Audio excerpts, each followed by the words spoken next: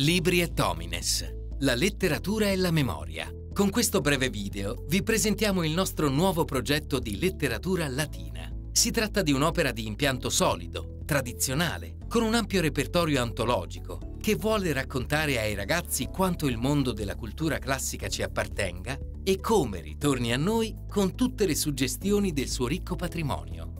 Ciò che abbiamo appena descritto lo troviamo espresso nell'ampio apparato di rubriche che caratterizza l'opera e che sono raccolte sotto i titoli Il nostro patrimonio e Intersezioni. Vi mostriamo ora alcuni esempi. Il codice culturale. Questa è una rubrica in cui si evidenziano gli aspetti peculiari legati al costume, alla società e alla mentalità romana. Qui vediamo un'ampia scheda dedicata all'organizzazione e ai caratteri della famiglia nel mondo latino.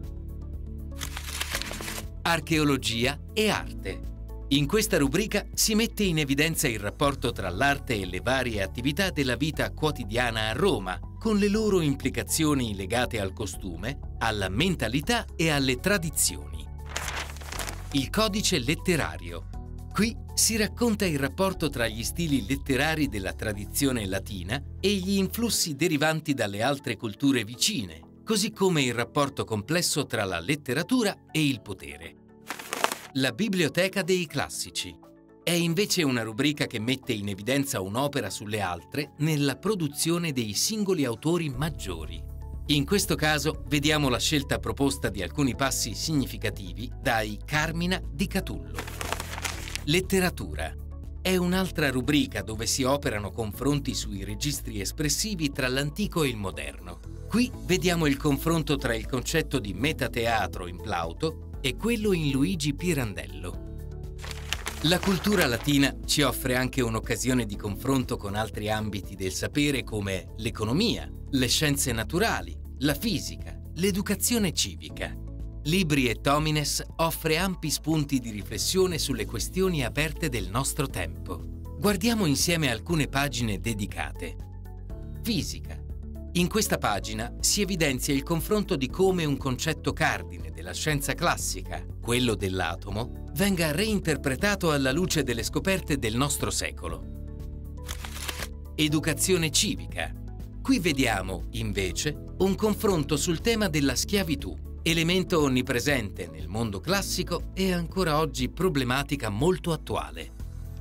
Per concludere, ci preme dirvi ancora che questo progetto tiene conto di tutte le nuove metodologie didattiche di lavoro in classe. Al termine di ogni percorso antologico è presente la rubrica Per concludere il percorso, che ha un'attenzione particolare allo sviluppo delle competenze trasversali, il pensiero critico, il lessico, le competenze digitali e il debate.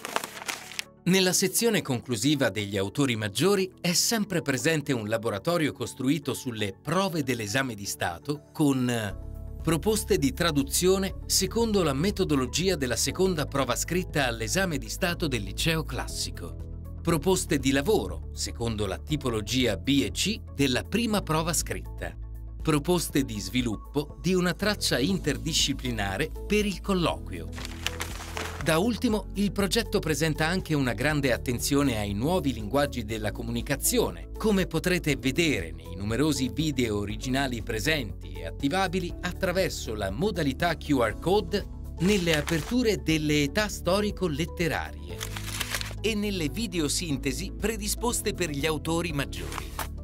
Libri et Homines Bye.